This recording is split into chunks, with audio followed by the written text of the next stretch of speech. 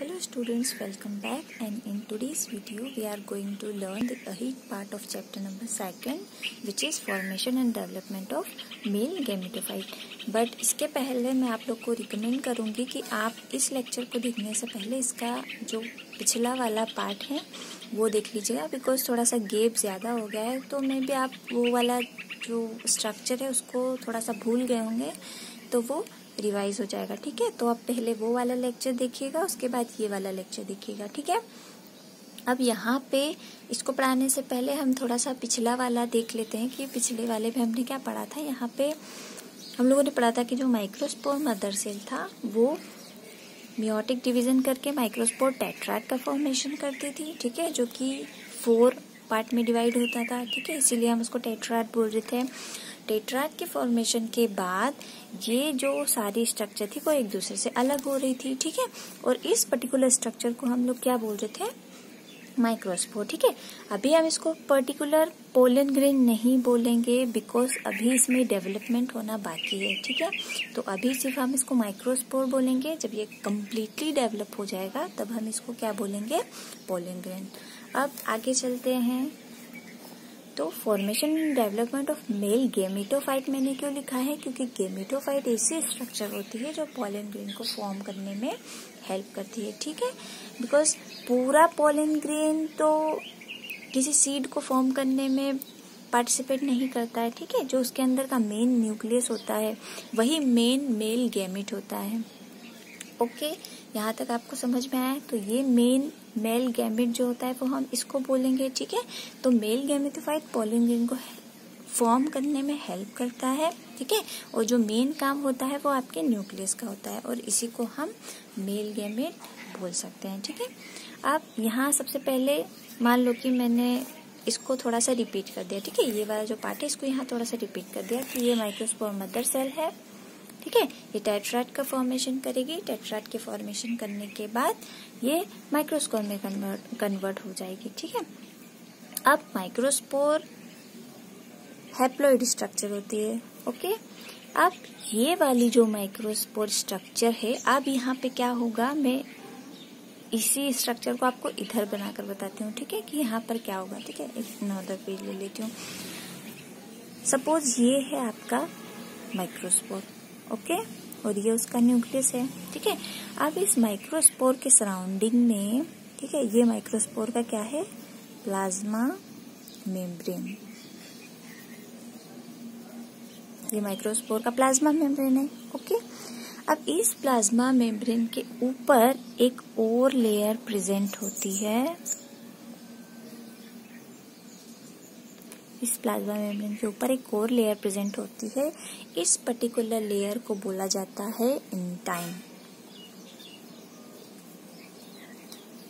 इस particular layer को बोला जाता है इंटाइन और ये जो लेयर होती है, वो बनी होती है सेल्यूलोज प्लस पैक्टीन से। ठीक है? प्लाज्मा मेम्ब्रेन के ऊपर जो लेयर प्रेजेंट होती है that is known as intine और जो सेल्यूलोज एंड पैक्टीन से फॉर्म होती है। अब, इसके ऊपर एक और लेयर प्रेजेंट होती है, ठीक है? और वो कैसे होती है? इरेगुलर फॉर्म में होती है। अब इरेगुलर कैसे मैं आपको फॉर्म करके बताती हूँ, इस टाइप से। अब मैंने इसे इरेगुलर क्यों बोला? बिकॉज़ देखो जी यहाँ तक है, फिर इसमें गैप है, फिर यहाँ तक है, फिर इसमें गैप है, फिर यहाँ तक है और इसमें गेप है। ठीक है, इसमें बहुत सारी गेप प्रेजेंट होती है। और ये गेप प्रेजेंट इसलिए होती है बिकॉज़ जब ये पोलन ग्रेन किसी फ्लावर के स्टिग्मा पे पहुँचता है, ठीक है, जब ये पोलन किसी फ्लावर के स्टिग्मा पे पहुँचता है तो ये वाला पार्ट डिस्ट्रॉय नहीं होता और ये वाला पार्ट डिस्ट्रॉय इसलिए नहीं होता, वो मैं आपको आगे समझाऊँगी, ठीक है? क्यों नहीं होता? तो यहाँ पे जब ये पहुंचेगा तो इस वाले पार्ट का तो कोई रोल नहीं रहेगा। ये वाली जो इंटाइन लेयर है, ये आगे की तरफ़ ग्रो करेगी इस टाइप से, ठीक है? तो इसीलिए ये गैप इन दोनों के बीच में प्रेजेंट होता है, ठीक है? अब ये वाला जो लेयर होता है, इसको बोला जाता है एग्जाइन ठीक है? ये वाला जो लेयर है, इसको क्या बोला जाता है? एग्जाइन और ये वाला लेयर बहुत मेन है। यहाँ से जो एग्जामिनर है, वो क्वेश्चन उठा लेता है। ठीक है? आप ध्यान से सुनिएगा, ये जो एग्जाइन लेयर है, ये कैसे फॉर्म होता है? ठीक है? देखो, मैंने आपको ये वाला स्ट्रक्चर बताया था, ये वाला। ठीक है? इसमें आपको ये पिरामिड शेप शेल दिख रही है। पिरामिड शेप सेल जो है, इसको हमने क्या बोला था? टेपिटम बोला था। ठीक है?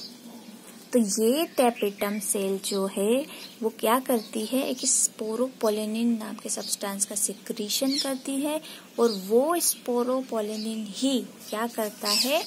इस एग्जाइन लेयर को फॉर्म करता है। ठीक है, देखो। ये आपका न्यूक्लियस ये जो ब्लैक ब्लैक आपको दिख रहा है, ये तो उसका प्लाज्मा मेम्ब्रेन है माइक्रोस्पोर का, ठीक है? ये जो रेड वाला है, इंटाइन लेयर है सेलुलोज प्लस पैक्टिन से बना हुआ, ठीक है?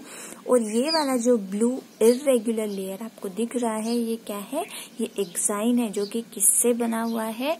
टेपिटम सेल ने जो स्पोरोपोलिनिन सिक्रीट किया था, वो स्पोरोपोलिनिन जो मोस्ट रेजिस्टेंट सब्सटेंस होता है, जिसको कोई भी डिनेचर नहीं कर सकता, ठीक है?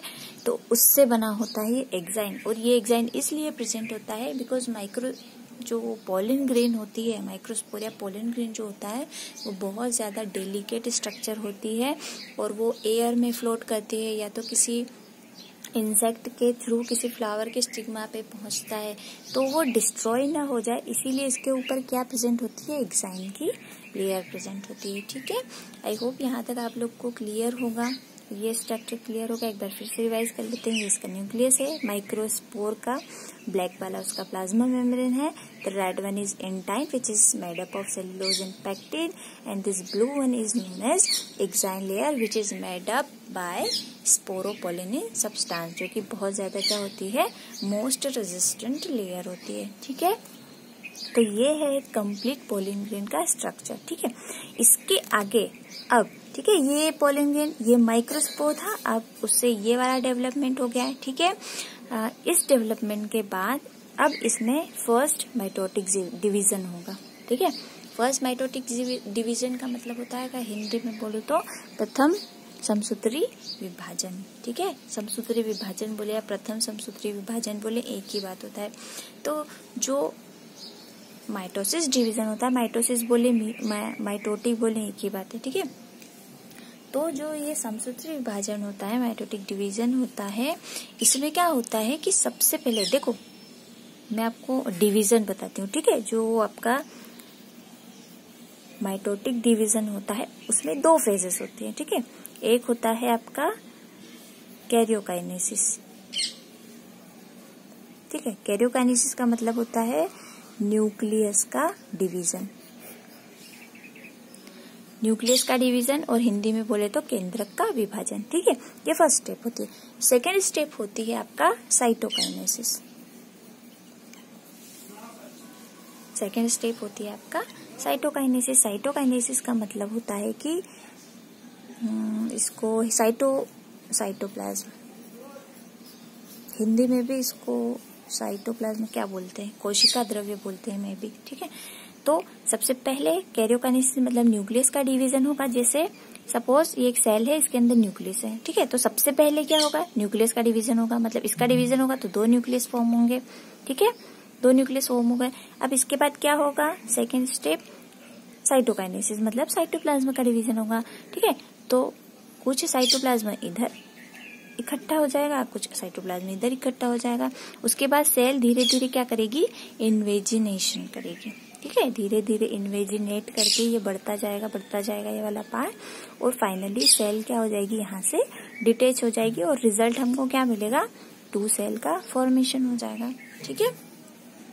ये तो डिवीज़न का पार्ट है, ठीक है? डिवीज़न ऐसा होता है, पहले कैरियोकाइनेसिस होगा, उसके बाद साइटोकाइनेसिस होगा मतलब साइटोप्लाज्म का डिवीज़न होगा, ठीक है? अब इसी चीज़ को हम इसमें समझते हैं। ठीक है? अब जैसे पोलिंग्रेन है ठीक है? अब इसमें सबसे पहले माइटोटिक डिवीज़न होगा तो क्या होगा? कैरियोकाइनेसिस होगा, ठीक है? कैरियोकाइनेसिस होगा तो एक न्यूक्लियस से दो न्यूक्लियस का फॉर्मेशन हो गया। मतलब एक सेल में दो न्यूक्लियस फॉर्म हो गए, ठीक है?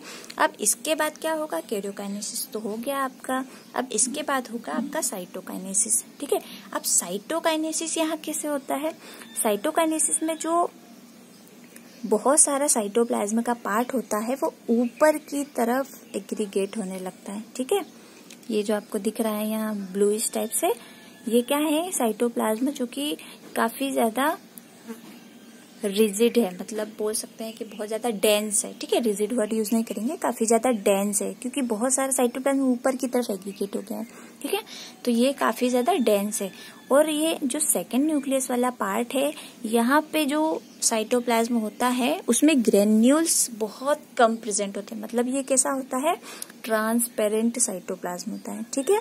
दिख रहा होगा, इसमें मैंने ब्लूइश पार्ट नहीं बनाया है, इसके अंदर मैंने ब्लूइश पार्ट बनाया ठीक है? मतलब ये डेंस है ठीक है? ग्रेन्युलर है और ये कैसा है? ट्रांसपेरेंट है, ठीक है? अब साइटोकाइनेसिस हो गया।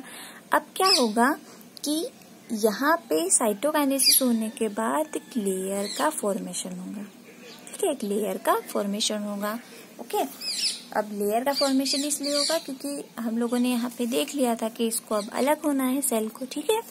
तो यहाँ पे एक लेयर का फॉर्मेशन होगा और बिल्कुल स्लाइड सी लेयर बनती है और इससे थोड़ा सा ऊपर उठ जाती है, ठीक है? ये वाली जो लेयर है मेन लेयर इससे थोड़ा सा ऊपर उठ जाती है। तो हमको क्या लगता है कि इस सेल के अंदर एक और नई सेल बन गई है है ना? इस सेल के अंदर ही क्या बन गई है? एक और नई सेल ठीक है?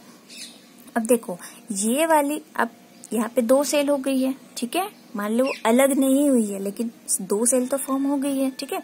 अब ये जो रिजिड सॉरी ये जो डेंस साइटोप्लाज्म वाली जो सेल है, इसको बोलते हैं vegetative cell okay vegetative cell या ट्यूब सेल ओके मतलब ये क्या करेगी? जब ये पोलिन किसी फ्लावर के स्टिग्मा पे जाएगा तो ये वाला जो पार्ट है, वो एक ट्यूब का फॉर्मेशन करेगा, ठीक है? अभी आपको समझ नहीं आ रहा होगा कि ट्यूब का फॉर्मेशन कैसे होगा, लेकिन जब इसके बाद वाला पार्ट हम पढ़ेंगे तो उसमें आपको क्लियर हो जाएगा कि पूरा पोलिन ग्रेन स्टिग्मा के अंदर नहीं जाता है। ठीक है, एक बार मैं आपको बता दूँ, पूरा पोलिन ग्रेन स्टिग्मा के अंदर नहीं जाता है। सपोज़ ये पोलिन ग्रेन यहाँ आया है, ठीक है, ये उसके ऊपर का लेयर तो ये क्या करेगा? ट्यूब का फॉर्मेशन करेगा यहाँ पे ओवरी तक।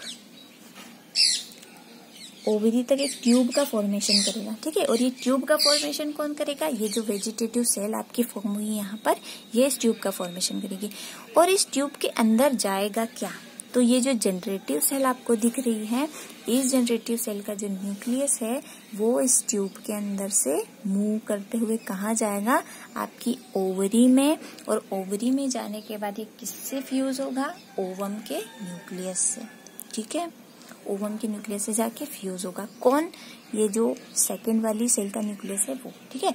तो वेजिटेटिव सेल तो किसके लिए यूज़ में आएगी? ट्यूब का फॉर्मेशन करने के लिए, ठीक है? और ये जो सेकेंड वाली सेल होती है, इसको हम बोलते हैं जनरेटिव सेल ठीक है? और यही जनरेटिव सेल क्या करती है? एज अ मेल गैमेट बोली जाती है। इसको ही हम क्या बोलते हैं? मेल गैमेट ठीक है? बट ये जो क्वेश्चंस हैं, ये नीट के क्वेश्चंस है कि बिल्कुल इंटरनेट की पोलियन ग्रेन में कौन सी कौन सा पार्ट होता है जिसको मेल गेमिट बोला जाता है? तो वो जनरेटिव सेल होती है, ठीक है? बट ये नीट परस्पेक्टिव से, ठीक है? बाकी तो हम पोलियन ग्रेन को एज ए मेल गेमिट बोल सकते हैं, ठीक है? तो ये आपका वेजिटेटिव सेल और ये आपका जेनरेटिव सेल ठीक है? अब थोड़ा सा आगे वाला पार्ट ये होता है कि पोलियन ग्रेन कहाँ कहाँ यूज़ में आते हैं, ठीक है? तो pollen grain as a nutrient supplement use होते हैं, ठीक है? बहुत सारी टेबलेट्स मार्केट में अवेलेबल होती हैं, जो कि ग्रोइंग चाइल्ड्स के लिए होती है, जो बच्चे जिनका डेवलपमेंट हो रहा होता है, उनको दी जाती है, और जो एथलीट्स होते हैं, जिनको बहुत ज़्यादा एनर्जी की ज़रूरत होती है, उनको एज ए न्यूट्रिएंट सप्लीमेंट के फॉर्म में पोलियन ग्रेन से बनी हुई, बना हुआ मेडिकेयर दिया जाता है। ठीक है? ये टैबलेट्स और सिरप्स दोनों के फॉर्म में मार्केट में अवेलेबल होती है। उसके अलावा अगर कोई ऐसा पर्सन है जिसको पोलिन ग्रेन से एलर्जी है, ठीक है? तो उस बंदे को सपोज़ जैसे आप लोगों ने सुना होगा जो पार्थेनियम होता है, जिसको कैरेट ग्रास बोलते हैं, हिंदी में बोलते हैं गाजर घास, ठीक है? वो जो होती है, वो हमारे पर्टिकुलर इंडिया में प्रेजेंट नहीं है प्रेजेंट पहले नहीं थी, वो बाहर से लाई गई है। ठीक है, वो बाहर से आ गई गलती की वजह से और हमारे यहाँ पे ग्रो हो गई है। तो उसके जो पोलिंग ग्रेन्स होते हैं, वो पोलिंग ग्रेन्स अगर किसी पर्सन को एलर्जी कॉज कर रहे हैं तो वो जो पर्टिकुलर एलर्जी होती है, वो पोलिंग ग्रेन से होने वाली एलर्जी होती है और इस एलर्जी को बोला जाता है हे फीवर ठीक है, आप नाम याद रखो, किससे होती है? पार्थेनियम से, या फिर इसको बोल सकते हैं कैरेट, ग्रास, ठीक है? और हिंदी वाले बच्चों के लिए गाजर घास। सभी को नहीं होती है, जो पर्सन पोलिंग्रेन से एलर्जिक होता है, सिर्फ़ उसी को होती है, ठीक है? तो इस वाले लेक्चर में इतना ही। अब हम लोग कंटिन्यू डेली पढ़ेंगे और आप लोग भी डेली पढ़िएगा बिकॉज़ आपका एग्ज़ाम काफ़ी नज़दीक आ रहा है और अगर और कोई डाउट हो तो आप लोग मुझे ग्रुप में इन्फॉर्म कर दीजिएगा। Okay till then take care